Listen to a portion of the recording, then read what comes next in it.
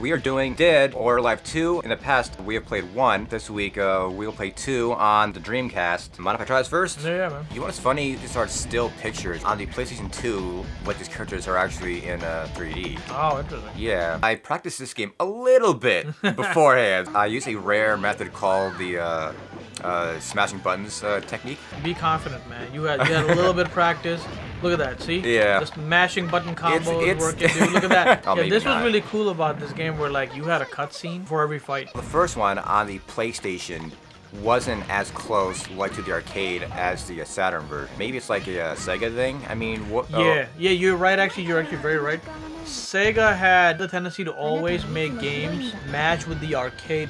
Yeah, see, they're sisters. They're both ninjas from the same academy or something like that. Right. Oh, okay. Okay. Like one of those things. Like it's kind of like Batman and like a Ra's al Ghul. Yeah, exactly. I gotta admit that the the detail that they put into this this game Yeah. was very good, man. Yeah, like- back in the day. And compared to like the first one, that you know what what I mean? saying, yeah. All right. Alright, Uh, no you try worries. this next, man. Here. Why doesn't she just uh, grab that uh, giant bow on her back and just like yank it? And of course, this game is notorious for women with the biggest boobs ever. And so this is her her brother. Yeah, but I think he he lost his memory or something. How many uh, cliches are uh, are they gonna use?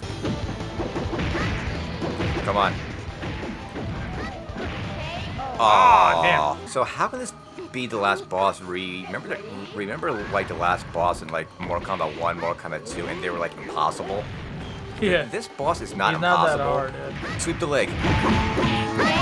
Oh, there's no ending. Well, there you go. That's what you get for beating it. I mean- Just credits. They had to push it out by Christmas or something. Yeah, the game feels like it was rushed or something. What is that one? Survival. Oh yeah, the tag battle mode?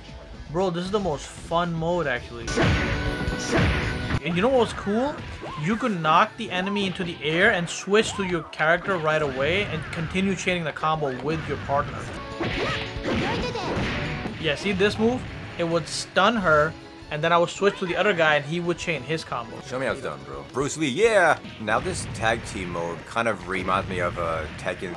Was that three? I don't remember. Uh, tag team, yeah, Tekken Tag Tournament. so how long have you been playing fighting games? Oh, since I was like two probably. S- You serious? Yeah. And you've been hooked ever since? Yeah, like fighting games have became crazy. like my passion. How do we quit?